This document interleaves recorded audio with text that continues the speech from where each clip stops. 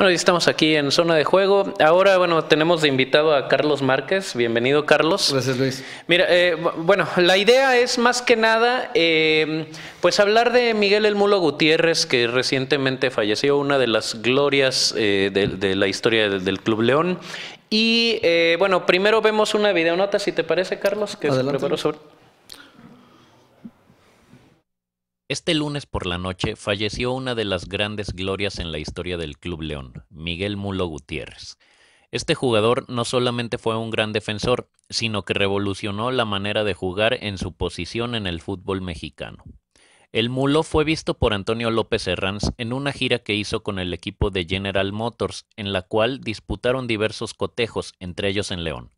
En aquel entonces, Miguel Gutiérrez jugaba como delantero y pertenecía a un equipo amateur que era la base de la selección del Distrito Federal.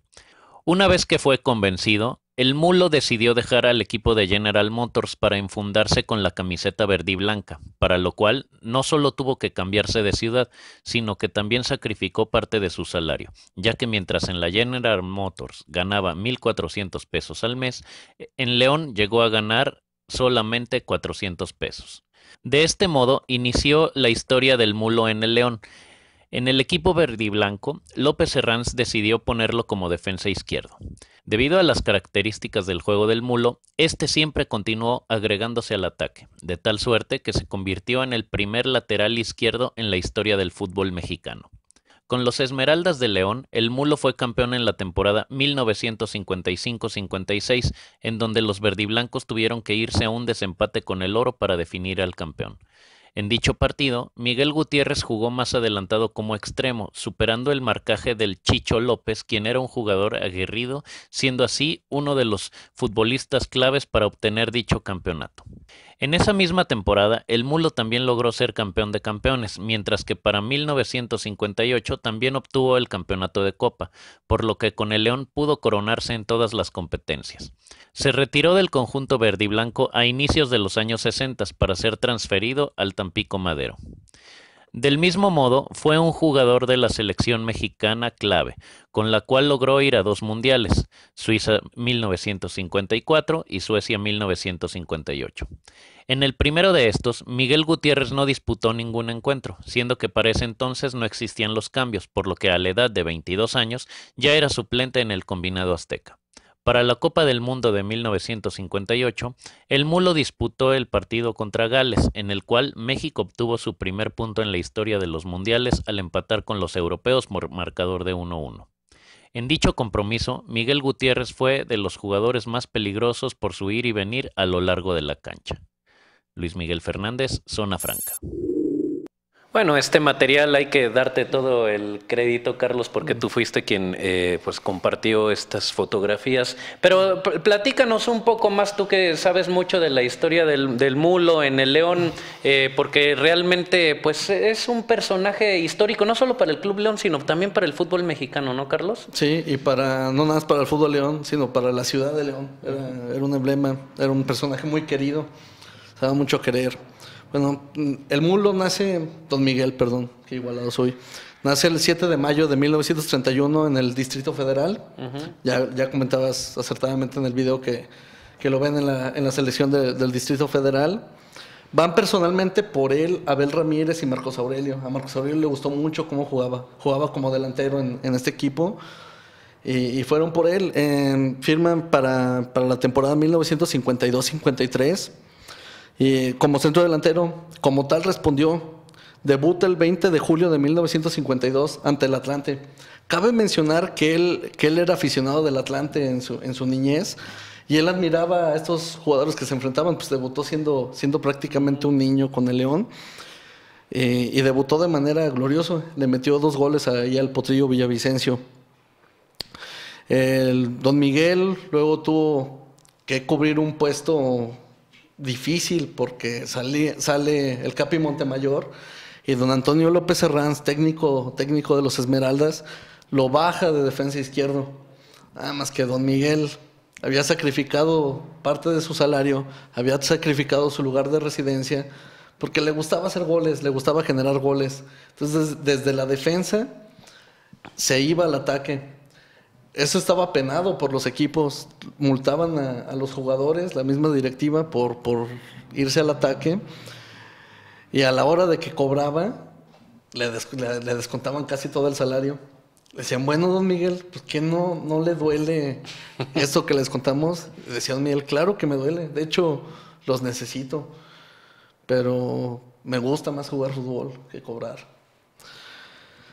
Pues aquí sufrió, sufrió aquí a, a Capi Montemayor y se convierte, por ende, en el primer carrilero mexicano en la historia de, nuestro fútbol, de nuestro balompié. Con el León duró 13 años, lo que lo convierte en uno de los cuatro jugadores con más partidos disputados con, con el León, junto con Antonio Carvajal, el Pachuco López y, y, Luis Luna. Son los cuatro jugadores con más partidos oficiales disputados. También es un emblema de la selección nacional. Con la selección debuta el 7 de abril de 1957 en la victoria de 6-0 contra, contra Estados Unidos en eliminatoria en, Ciudad Universitaria, este encuentro. Con la selección solo estuvo ocho partidos, pero estuvo en el partido del primer punto de la selección.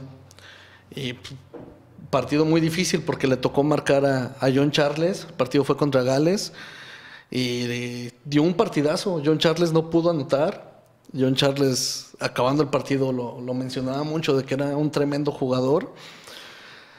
Y pues gran mérito, así como hay que festejar los goles, hay que festejar los que se evitan, porque de eso se trata el fútbol, de hacer goles y de evitarlos.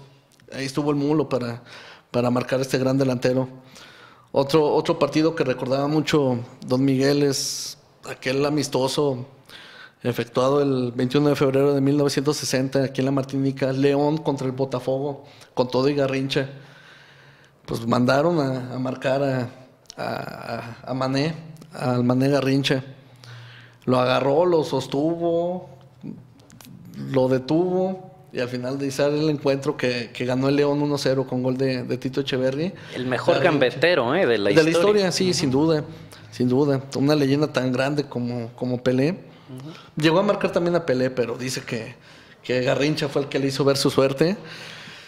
Em, no hizo gol Botafogo, ganó León con gol de, con, gol de Carlos Alberto Echeverry. Otro partido y que, podemos recordar es su título de liga, porque fue, fue el referente del equipo, puso dos pases a gol para, para la victoria entre el Oro. El León mete cuatro goles. Y pues no, pues, es todo lo que puedo recordar de su, de su vida profesional. Bueno, mira, de todos modos, aquí ya nos diste como eh, grandes anécdotas, o sea, lo que realmente significó el mulo para, no, no solamente como, como lo comentaba en un, en un inicio, no solamente es para, para, el, para el León, para el fútbol mexicano, o sea, revolucionó la posición de de lateral izquierdo, este, vamos, todo, todo lo que le imprimió a, León, este, bueno, en fin. Eh, lástima que, no, ahorita ya, bueno, vamos a tener que, irnos de, aquí en la transmisión, pero a ver si después este, vienes, te invitamos nuevamente al programa, Carlos, para que nos platiques un poco más sobre las grandes investigaciones que has hecho sobre el Club León. y pues aquí era la idea de hacer un pequeño homenaje a, pues al Mulo, a Miguel Mulo Gutiérrez, que es, eh, pues sí representa pues una gran pérdida por lo que significó para el Club León. Sobre todo como persona, gran, gran ser humano. Así es. Eh, bueno, muchas gracias Carlos por habernos eh, eh, pues compartido toda esta información. y pues te, vemos por aquí pronto. Cuando gusten, aquí, nos, aquí estaremos viéndonos. Y bueno, yo Luis Miguel Fernández les doy las gracias a todos ustedes que nos sintonizaron aquí en la revista de la UNA a nombre de Arnoldo Cuellar y colaboradores. Les invito a que sigan consultando nuestra página para ver diversos temas al momento. Que pasen muy buenas tardes.